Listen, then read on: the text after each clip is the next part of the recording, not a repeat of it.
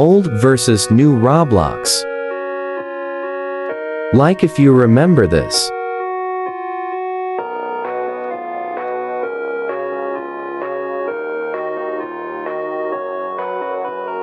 It's, it's